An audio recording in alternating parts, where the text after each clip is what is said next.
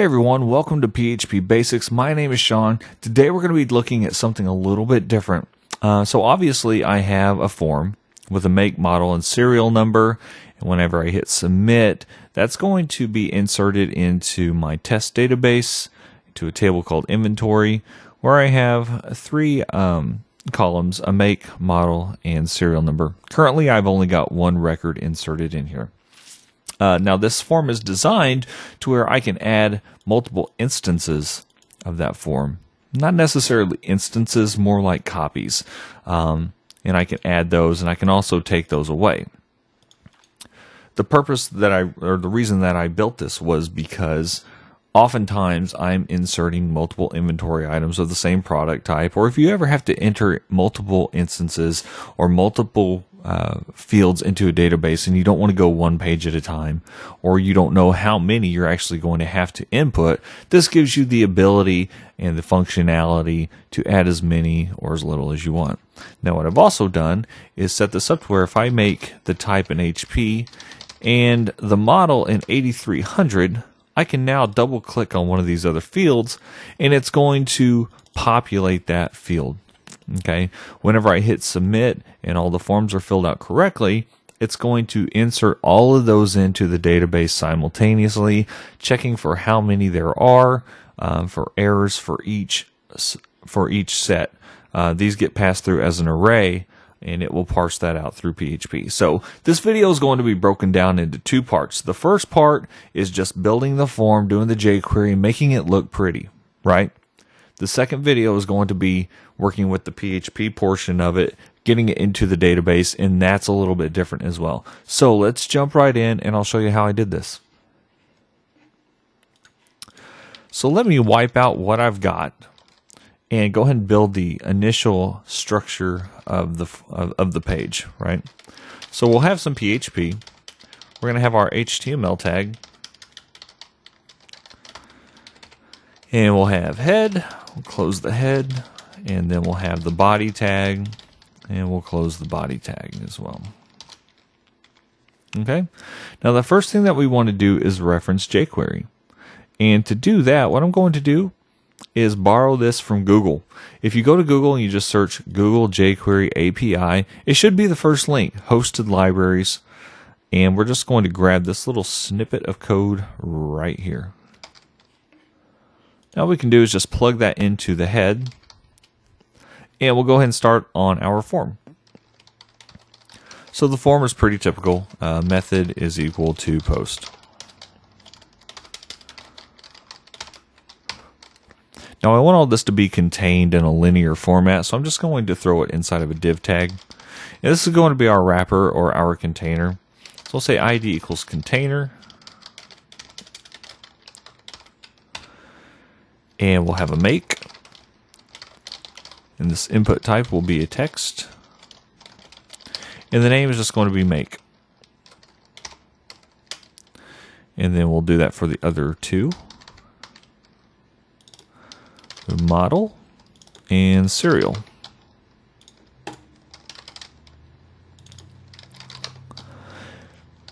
Now below the div tag, I'm just going to go ahead and throw in my input for uh, the submit button.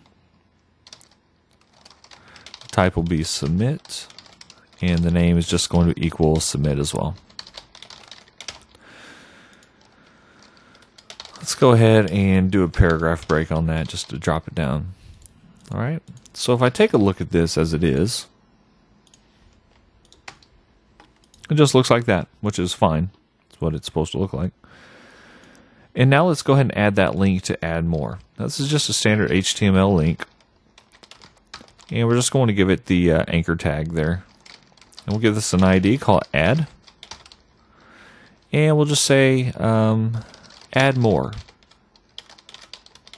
Okay. So now we have our completed form. We've got our make model serial number, our add more link, and our submit submit button, which currently both do absolutely nothing. So that's where jQuery comes in. Underneath our referenced script, let's create a new one. Now, the first thing that we always do whenever it comes to jQuery is check to see if the form is ready or the page itself is ready, right? So to do that, we'll do a dollar sign and then open parentheses, document dot ready. And then inside of this, we're going to do a function. We're going to be sending this to the event handler. So we'll reference that there. And that's it. Okay. So typically what I do is I try to establish the structure of how my code is going to go. I want a place for variables. We need uh, a spot to add rows to the form, a spot to remove rows from the form, and then also to populate, um, we'll say values from the first row that double click thing that I showed you earlier. Okay. The variables, this is going to be like if we want to establish a max number of rows, if there's any HTML that we need to throw into a variable, things of that nature. Okay. But for now, what I'll do is we'll just say, um, based off the ID of add, which is this little guy right here, whenever you're referencing an ID in jQuery, you use it using the hashtag or the pound symbol function is going to be click. And we're going to create a function in here the same way that we did before.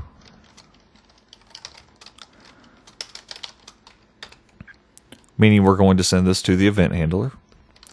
And we'll just say alert just to kind of show the functionality of it. So if I go back and I reload my page and I click on the add more button, I'm going to get an alert box. Okay, so that shows that the functionality is actually there. So let's get rid of this. Now, if I was to say, and we're going to, what we're going to do is a jQuery function called append. We're going to, to append more of these fields to the bottom of this div tag, which is currently called container, right? So let's reference container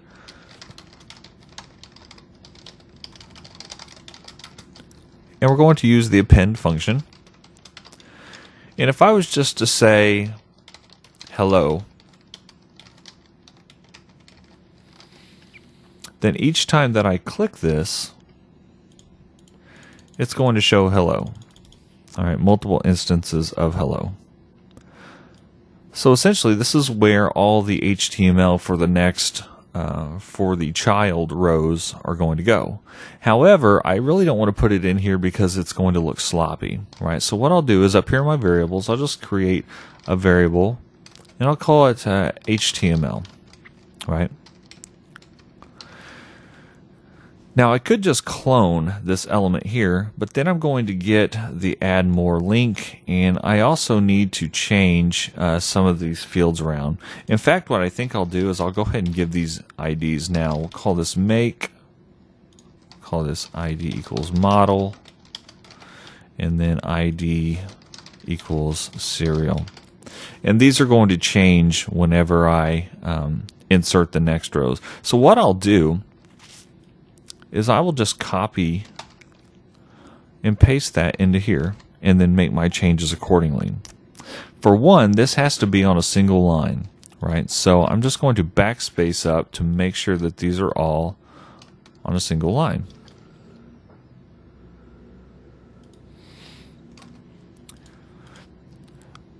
And then I'm also going to say, um, we'll say child make, the ID will be child model, and then child serial. And then instead of add, we're going to have remove. And I'll just symbolize that with an X. Okay. To clean this up a little bit, I will add a paragraph break and I'll encapsulate this inside of a div tag. And now all I have to do is reference the HTML variable. Okay, so let's refresh the page and see what that looks like. Great, so now we can add as many of these things as we want, but we're still not able to remove them yet. Okay, so let's do that next. Now, with the click function, it's adding a function to the page once it's already loaded, which means we're just adding content to the page. However, you can't do that if you want to take things away from the page. You have to use what used to be known as the live function, but has been turned into the on function, which means whenever you uh, perform a certain uh, action, some other action happens in real time. Okay. To do that, we're going to have to reference the container itself because that's where the element lives. So we'll say uh, container dot on, and this is where we actually um, reference the action first, which the action will be click.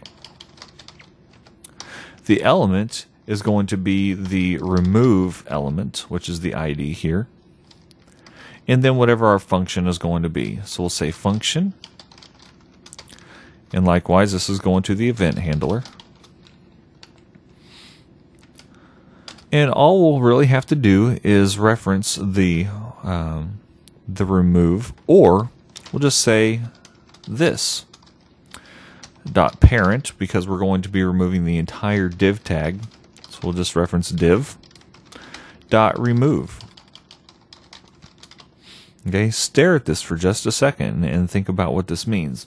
Okay, our master element is the container element, right? Everything is contained inside of this div tag.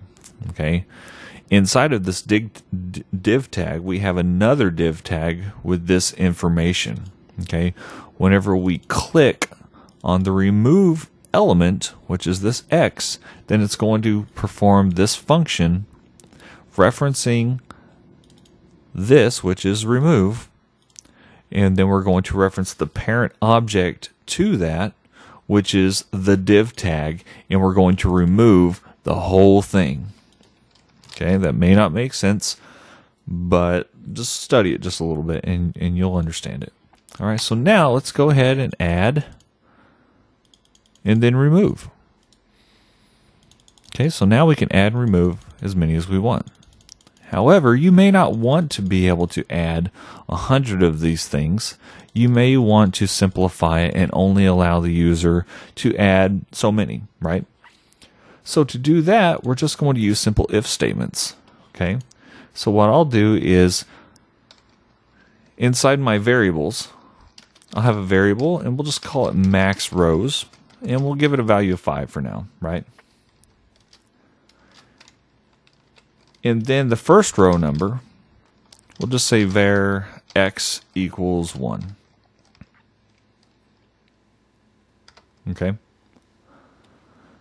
So now inside the click function, we can say if x is less than or equal to max rows, then uh, then append the next row. All right. And then we can just say x plus plus and then close that if statement. Okay, let's give this a try. One, two, three, four, five. And that's all I can click. So now I have a maximum of. Okay, I broke something. uh, let's see. I can add, but I can't add after I take them away. And that's because once I remove that field, I'm not adding back to the number of uh, of available rows to add. I'm just using them all up, right? So that's simple. Whenever I come to remove the row, all I have to do is do x minus minus, which will subtract 1. Right? So that should one, two, three, four, five. Let's remove a couple and then we can add them back. All right, simple as that. So the only thing left to do uh, for this section is to show how I'm duplicating the data. And that's pretty simple as well. Um, notice how I have ID, make, model, and serial number. This is the reference to this particular field. All I have to do is grab the value of this field and add it to uh, the child field. Okay. to do that, once again, I'm referencing the container. and We're going to be using the on function as well.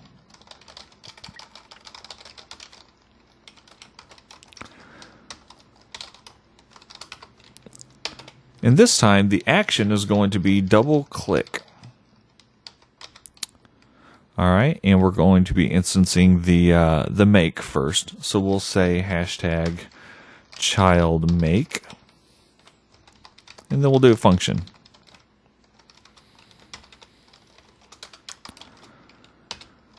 And all we have to do is this dot val is going to equal the value of whatever the original field said. So what we can do is we'll say make dot value. Now I know there are a lot of parentheses in here and it's starting to get a little uh, convoluted. But essentially the value of this is going to equal the value of that, which should be fairly simple to understand. So let me go back in and refresh my page um, if I just say HP, then I should be able to double click and it's going to do that there. So for the model, all I really have to do is copy and paste the same code and uh, change the make to the model.